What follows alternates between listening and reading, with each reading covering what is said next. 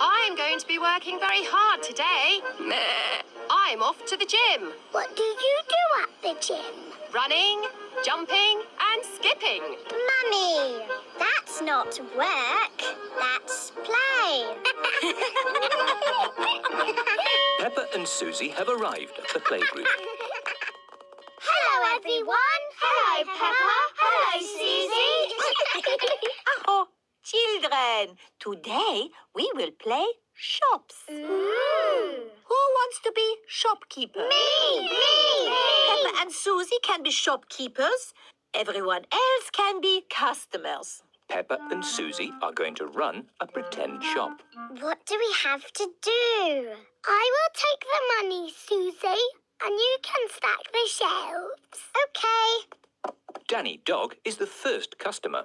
Hello, shopkeeper. Hello, Mr. Dog. Can I have some biscuits, please? Susie, have we got any biscuits? No, but we've got a toy telephone. How much will that be? That will be a hundred pounds, please. Thank you. Next, please. No. Hello, shopkeeper. Can I have a loaf of bread, please? No, but you can have a toy house. Would you like it in a bag, sir? Yes, please. That will be one penny, please.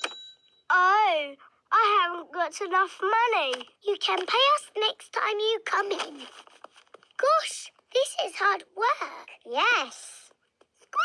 Hello, shopkeeper. What can I buy for a million thousand pounds, please? Susie, what have we got for a million thousand pounds? Hmm, a carrot? Yes, please. Rebecca Rabbit likes carrots.